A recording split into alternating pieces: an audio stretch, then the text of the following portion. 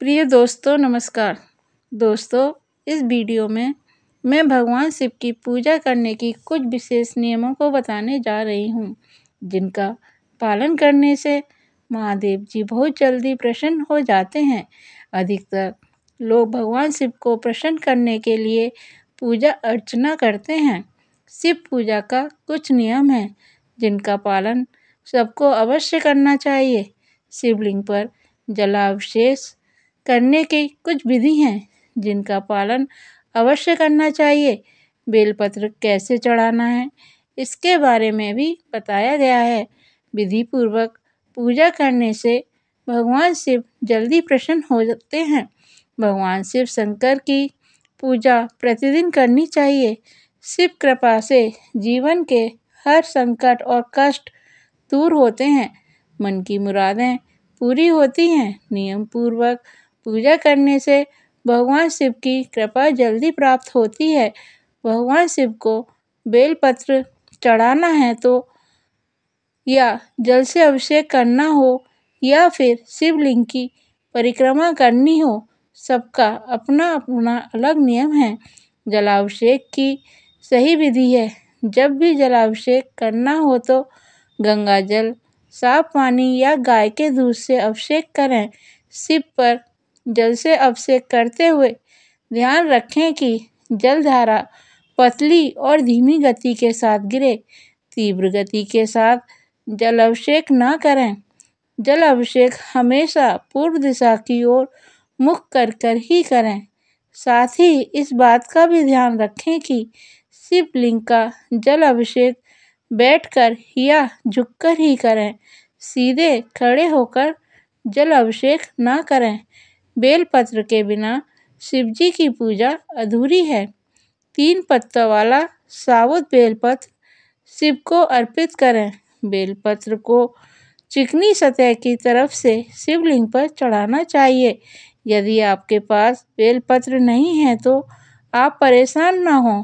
बेलपत्र के अलावा भाँग धतूरा आग या मदार का फूल, समी के पत्ते आदि भी अर्पित कर सकते हैं। शिव पूजा के दौरान कभी भी शिवलिंग की पूरी परिक्रमा नहीं करनी चाहिए। शिवलिंग के वाई ओर से परिक्रमा शुरू करके और अर्धचंद्रकार तक जाके वापस अपने स्थान पर लौट आएँ। शिवलिंग की जलाहारी जहाँ से जल नीचे गिरता है, उसे कभी भी नहीं लांगना चाहिए। इस वजह से हमेशा शिवलिंग की आधी परिक्रमा ही करते हैं। अधिकतर लोग जब शिव मंदिर जाते हैं तो जल आदि घर से लेकर नहीं जाते, बल्कि मंदिर के प्रांगण से ही जल लेकर शिवलिंग का अभिषेक कर देते हैं, या फिर पूजा के समय कुछ चीज़ें जैसे चंदन, सिंदूर, चावल, धूप आदि कम पड़ जाते हैं तो मंदिर में मौजूद या अन्य किसी व्यक्ति से मांग लेते हैं। लेकिन क्या आप जानते हैं कि ऐसा बिल्कुल भी नहीं करना चाहिए? ऐसा करने से पूजा का पूर्ण फल प्राप्त नहीं होता। इसके साथ ही घर का वास्तु दोष भी समाप्त नहीं होता है। जब भी आप शिव मंदिर जाएँ तो समस्त पूजा सामग्री घर से ही साथ लेकर जाएँ। मंदिर में या घर पर जब भी शिवलिंग की पूजा करें तो सबसे पहले आचमन आदि से शुद्धि ज़रूर कर लें। स्वयं को शुद्ध करने के बाद ही पूजन करें। शिव जी को कुछ चीज़ें कभी भी नहीं चढ़ानी चाहिए। धर्मशास्त्रों में भगवान शिव को कई चीज़ें अर्पित न करने की सलाह दी गई है। पूजा करते समय भगवान शिव को अखंड चावल नारियल, सिंदूर, शंख, या जल, तुलसी दल, चंपा और केवड़े के फूल आदि चीज़ें अर्पित ना करें। चीज़ों को अर्पित से महादेव अप्रसन्न हो जाते हैं। ये सभी वस्तुएँ शिव पूजा में वर्जित हैं। अगर आप भगवान शिव का आशीर्वाद पाना चाहते हैं तो देवों के देव महादेव के संग माता पार्वती की भी पूजा करें।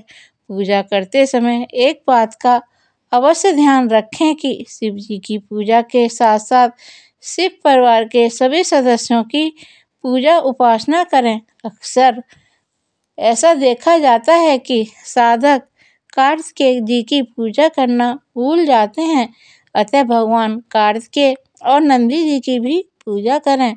धर्मशास्त्रों के अनुसार देवों के देव महादेव की प्रतिमा घर में स्थापित करने के पश्चात विधि विधान से भगवान शिव की पूजा उपासना करें। साथ ही पूजा घर की साफ़ सफ़ाई का विशेष ध्यान रखें। पूजा घर में साफ़ सफ़ाई न रखने से वास्तु दोष उत्पन्न होता है और इस प्रकार विधि पूर्वक पूजा करने से भोलेनाथ जल्दी ही प्रसन्न हो जाते हैं और खुशियों के भंडार भर देते हैं। तो दोस्तों इस वीडियो में सिर्फ़ इतना ही। हर हर महादेव।